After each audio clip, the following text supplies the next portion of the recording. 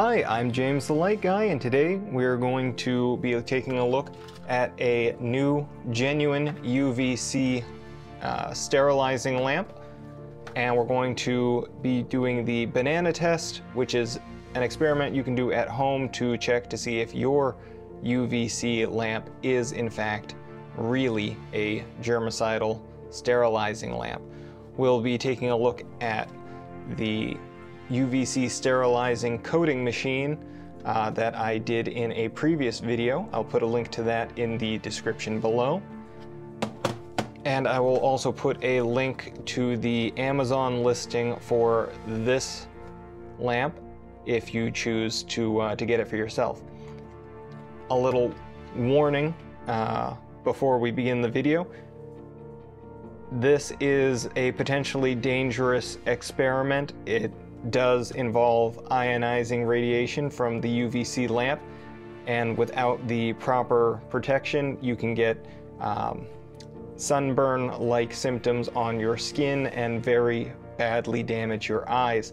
During an earlier experiment, I had my eye pro and forgot to put it on, and I was temporarily blinded for a couple of days. Better now, but PSA, wear your eye protection. All right, first, let's take a look at this light. In the box, we get a small bag of hardware and a just short pigtail. Gonna get this thing out of this box. There it goes. And here we have the main assembly. You can see it is a six watt light. Let's zoom down in a bit. There we go. And if we can get the focus on there right. There we go. UVC 6 watt, we're about 110 volt rather than uh, most of you overseas type with your 220. And does it produce ozone? Yes, and I can confirm that this does strip away the uh, electrons and get you O3. So here we have the tube. If we look on close, you can see we have a small coil at each end. These are our ignition coils, and it is a solid, I believe, quartz glass tube with the electrodes. The assembly itself is pretty self-explanatory. Um, the bulb simply slides in through this groove at the top and bottom, and once in, it gets a twist 90 degrees to lock it in place and make contact with the electrodes. All right, let's change our focus once again.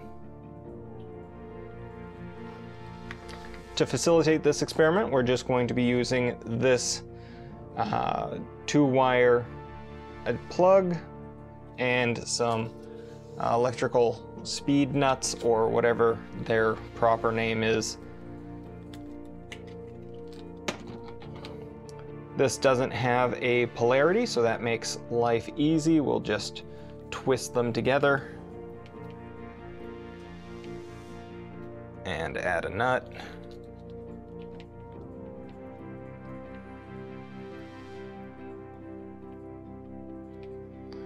For those of you wondering at home, the blue wire is neutral from the outlet.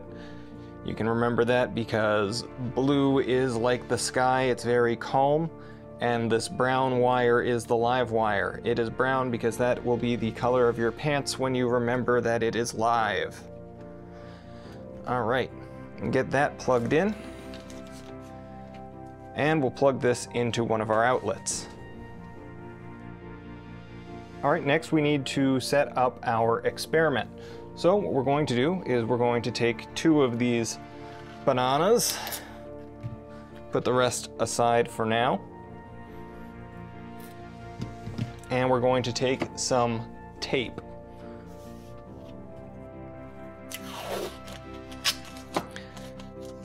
UVC is not a very deep penetrating light, So a piece of tape is enough to protect the soft, supple flesh of the banana.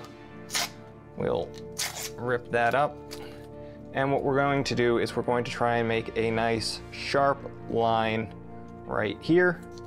In fact, we will put another piece right there. So what we're going to do is we're going to see if after exposing it to the light, if this region here, well, really the, the whole banana less the parts under the tape become discolored. We'll do the same on this banana and then put it in here. So.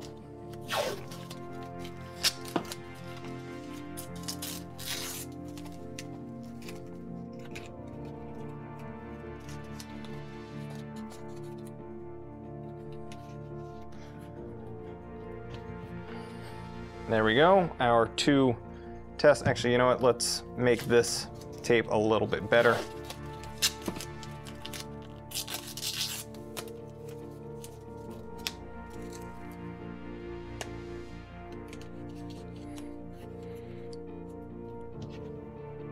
There, that looks pretty good. All right, we'll see which one of them fits better in this case. If I cut off some of this,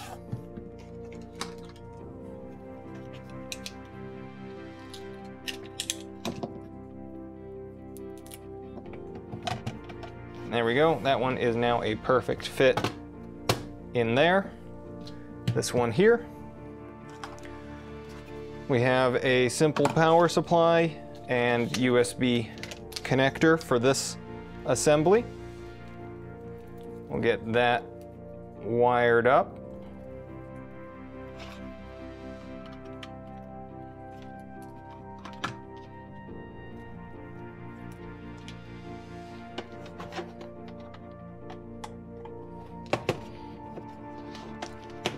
All right, the way that we are going to run this experiment, I'm going to raise this banana up. Eh, maybe not that high. Let's see if I have something else to get it at about the same level. I don't necessarily, ooh, you know what? I have just the thing, one moment. All right, just using a simple clamp like this, I can lift the lamp slightly off the surface of the table so that I don't burn my table with it. We're going to run both of these for 20 minutes. This only runs in three to four minute intervals and then I need to restart it. So let's get that going.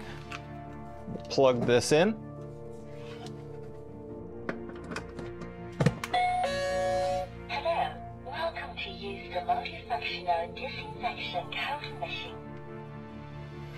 For those of you questioning, that did say the multifunctional disinfecting coating machine. Let's. Hello, the disinfection and coating process is in progress. All right, we'll let that run through its first cycle.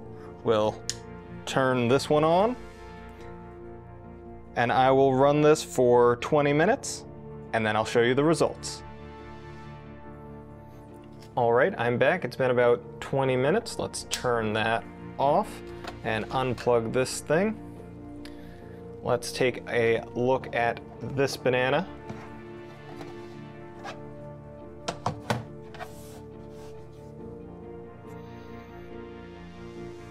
Let's zoom on in on it.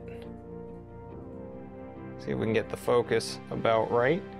And if we peel this tape back.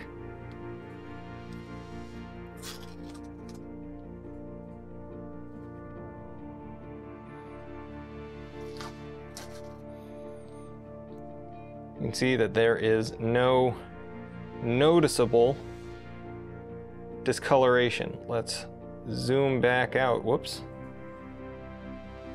Hit the zoom button. Damn it. I keep hitting the focus. There we go. Zoomed back out. Let's take a look at, well, we can already tell that it's at least slightly discolored.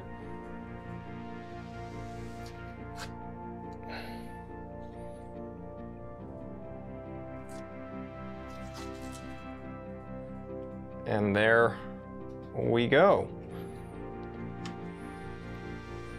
So the real UVC lamp has burned the surface of the banana while the fake UVC has done nothing. Anyway, this lamp did produce quite a lot of ozone while, uh, while it was operating. And as I said before, it is a fairly dangerous experiment as without the proper protective gear, uh, you could permanently damage your eyes or potentially cause some form of skin cancer as it is an ionizing radiation. Uh, that being said, this is only uh, surface deep. If we take our knife and peel it back, you can see that there is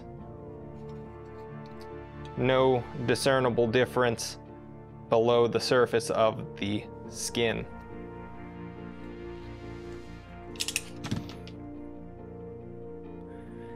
In any case, that's all I have for today's video. I know it was a fairly short one, but I hope you found the information useful.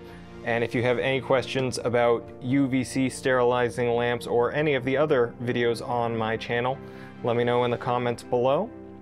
Uh, this video was made possible with the support of my patrons on Patreon. Please check out the link in the description below and consider uh, supporting the channel. Give me a thumbs up if you liked the video and follow me on Instagram and Facebook. I think I got all of the internets out of the way. Uh, so until next time, I'm James the Light Guy.